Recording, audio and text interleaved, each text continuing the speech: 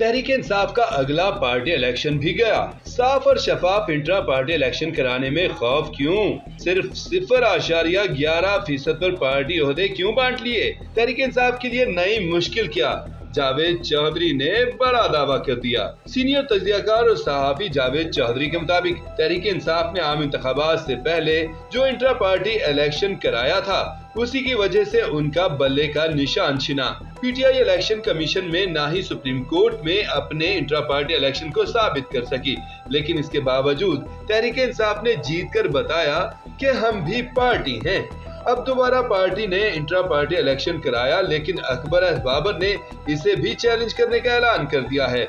वो एक बार फिर इलेक्शन कमीशन और सुप्रीम कोर्ट भी जाएँगे, जिन वोटों से ये फैसला हुआ कि चेयरमैन गौहर खान होंगे। जिन वोटों से ये फैसला हुआ कि चेयरमैन गौहर खान होंगे और दीगर अहदे दिए गए, सिफर आशारिया ग्यारह फ़ीसद वोटों से पूरी पार्टी क्यादत का फैसला कर लिया गया। शायद एक बार फिर पार्टी इलेक्शन को कलदम करार दे दिया जाएगा।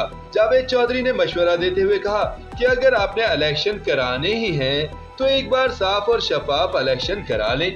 किस बात का खौफ है? एक अच्छा इलेक्शन करा दें। क्यों बार बार ऐसी गलतियाँ कर रहे हैं कि फिर आपको कोई ना कोई चैलेंज कर देता है और फिर आप पर सवाल या निशान लग जाता है। अजीब सी बात है, एक तरफ़ इलेक्शन कमीशन पर इल्ज़ाम आयद करते हैं कि आपने आम इंतबात साफ़ और शफाफ नहीं कराए? लेकिन अपनी पार्टी के इलेक्शन साफ़ और शफाफ नहीं करा सकते, ये कोई वजाहत नहीं।